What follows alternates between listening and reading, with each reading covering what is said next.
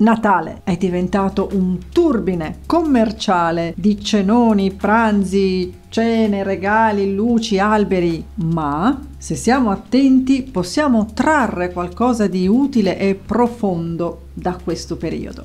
E per farlo voglio usare una bella metafora, quella natalizia, della luce e del brillare. Quindi quest'anno il mio augurio è questo, fatti un regalo speciale concediti di brillare più del tuo albero. Dimentica per un attimo lo spreco e l'eccesso delle luci là fuori, luci finte, e ricordati che la luce più vera e più brillante sei tu.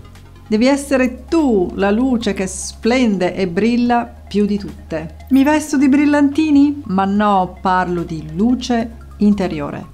E il mio regalo di Natale è dirvi come fare esattamente per brillare più dell'albero di Natale con tre rituali speciali da fare al mattino davanti allo specchio. 1. Inizia la tua giornata sorridendoti allo specchio, saluta te stesso e fatti i complimenti. 2. Fai pace con tutte le tue imperfezioni e le tue dinamiche complicate. Fai pace con le tue mancanze e le tue difficoltà. 3. Abbraccia la tua imperfezione perché ti piaci e ti vuoi bene esattamente così come sei. Abbraccia le tue sfumature e ama i tuoi contrasti. Bello, vero?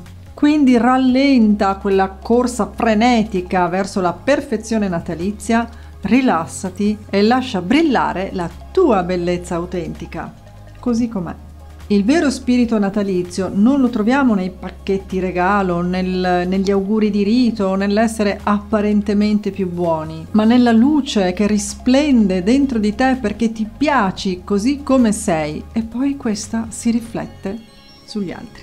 Quindi auguri brillantissimi di un buon Natale scintillante, ma di luce e forza interiore.